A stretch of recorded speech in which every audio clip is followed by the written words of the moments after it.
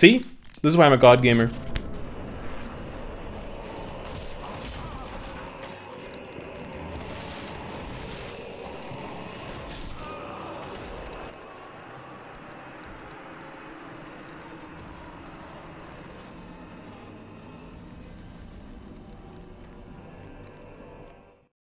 Mm-hmm.